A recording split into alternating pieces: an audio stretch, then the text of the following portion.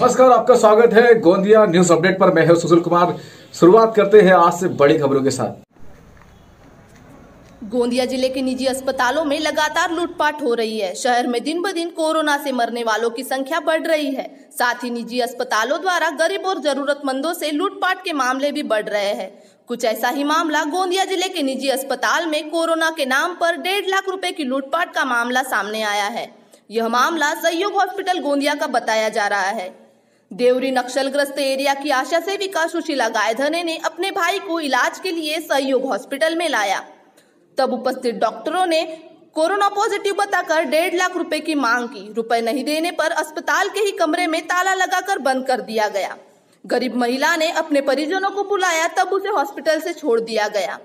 नागरिकों एवं परिजनों की निजी अस्पतालों पर दंडात्मक कार्रवाई की मांग की जा रही है।